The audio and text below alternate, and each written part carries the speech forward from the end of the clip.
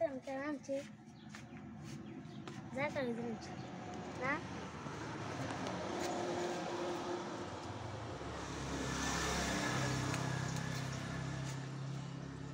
ఇవేదం కోలమా